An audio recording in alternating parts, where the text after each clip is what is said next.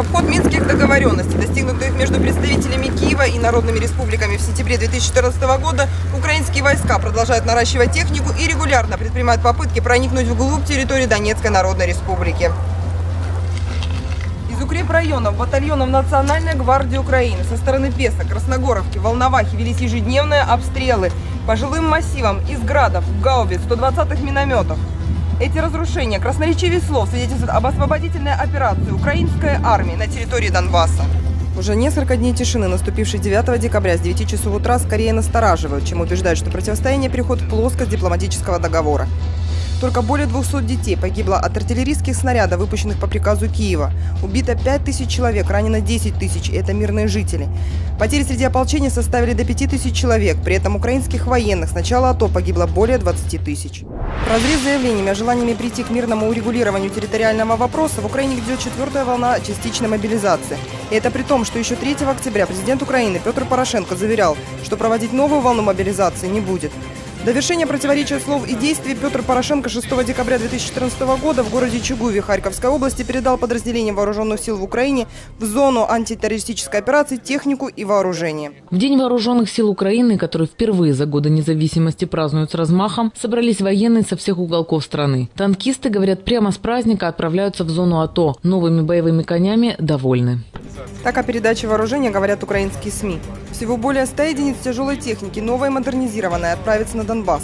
Танки Т-64БМ «Булат», танки Т-64БВ, Т-72Б1, Т-72 ЮА, Т-72А, БТР-3Е и БТР-4Е, самоходные артиллерийские установки 2 С-1, вертолеты Ми-8 и Ми-2. Наше військо ще тільки-тільки народжується, Але вже виявилося здатним протистояти найбільшій на континенті військовій потузі, яка перла і пре на Україну. Адже навіть коли озброєний до зубов супротивник, регулярні часті в серпні вдерся на територію України, він так і не зміг просунутися вперед. Своей пламенной речи господин Порошенко говорит о том, что зарождающееся украинское войско смогло дать отпор наибольшей на континенте воинской мощи, которая, цитирую, перла и прет на Украину, имея в виду Россию, которая, по словам президента Украины, будучи вооруженной до зубов, прорвалась в августе на территорию слав страны, но так и не смогла продвинуться вперед. Пожалуй, эти слова вызывают улыбку. Если только за летний период более 20 раз украинские представители власти анонсировали вторжение Российской Федерации. Однако каждый раз это были лишь пустые заявления, вызывающие разочарование у самих политиков. Стоит заметить, что на вооружении российской армии стоит техника, которая вызывает подчас зависть западных партнеров. В одной из тематических программ мы сможем качественно разобраться в истинной мощи российских танков, проанализировать их характеристики и сделать сравнительный анализ, что даст четкое представление о том, кто является в противостоянии на Донбассе оппонентом Украины. Ведь в гражданской войне принимает участие не российская армия, хотя эту мысль пытаются навязать украинские СМИ, а воюют жители Донбасса и других регионов Украины, которые восстали против режима и методов управления киевских политиков, захвативших власть силовым путем. Вооружение ополчения далеко не идеально. На передовой зачастую использовались ПТРС и противотанковое ружье 1941 года выпуска. Но о том, чем воюет Новороссия, мы поговорим в будущем. Сегодня же я предлагаю кратко проанализировать ту технику, которая была представлена в Чугуеве. Танк Т-64 «Булат». Слабая часть у него радиатор, который магниево-алюминиевый. Для того, чтобы вывести танк из строя, нужно зажечь радиатор. В таком состоянии машина максимально сможет работать около полутора часов и отойти на километр. Необходимо внимательно следить за НЦВТ. Это крупнокалиберный надбашенный пулемет, управляемый командиром танка. Калибр НЦВТ 12,7. Вращается на 360 градусов. Поражает цель в 40 метрах от бронемашины. Если рискнуть и приблизиться к танку, нужно помнить, что безопасное расстояние – это мертвая зона, которая находится в 20-30 метрах от бронемашины. На этом расстоянии танк видит в триплекс, прицел бесполезен, и выпущенный снаряд не сможет достичь цели. Зато именно так можно нанести танку вред. Только за первые месяцы противостояния на Украине было уничтожено более 11 единиц танка Т-64БМ «Булат». Как минимум 10 из них оторвало башни, остальные получили значительное повреждение корпуса. Танк Т-64БВ. Это модель танка 64А. Ходовая часть у него старого образца.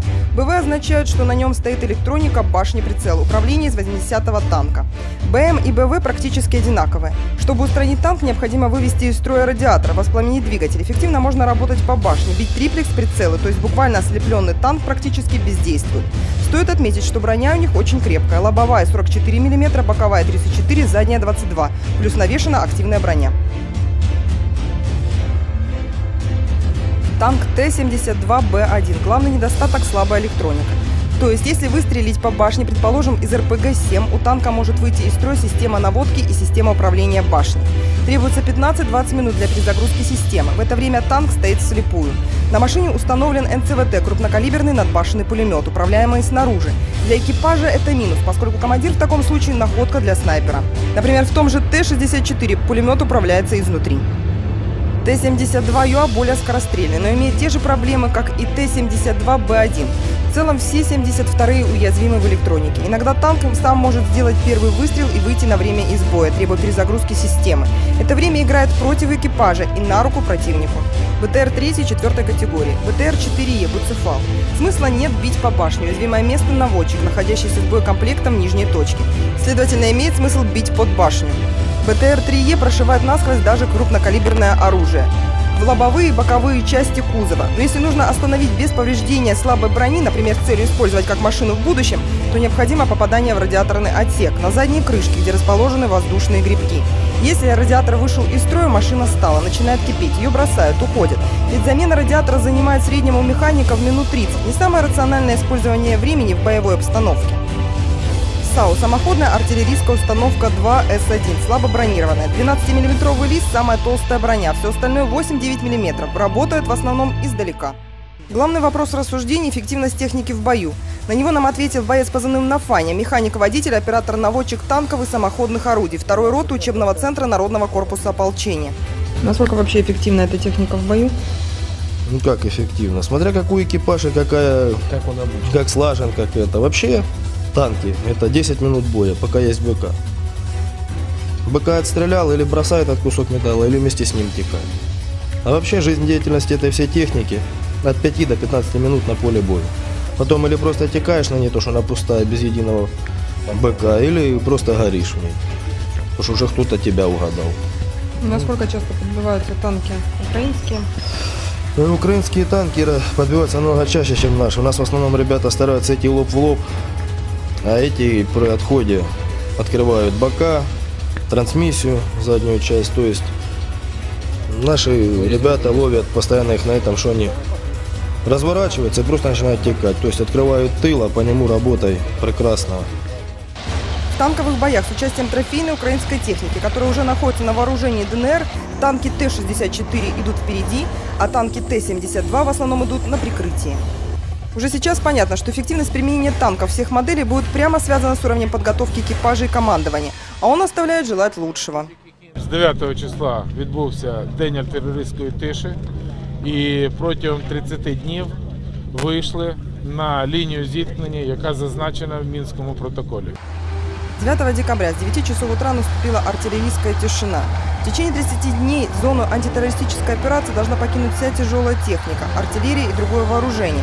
Только после этого смогут начать работу представители ОБСЕ, которые контролируют вооружение, вопросы разоружения, меры укрепления доверия и безопасности и диалог по вопросам безопасности. Вызывает сомнение, не откажется ли в очередной раз Украина от своих слов и не продолжит ли по старой схеме нарушать перемирие, ссылаясь на ополчение. Мы, жители Донбасса, устали от войны. Нам нужен мир. Но остались вопросы, ответы на которые знают, пожалуй, только украинские политики. Зачем в момент, когда должен осуществляться процесс отвода техники, украинские танки отправляются на Донбасс и долго ли продлится режим тишины? Оксана Волчонок, Вячеслав Богайчук, Дмитрий Русский, Новороссия ТВ, Донецк.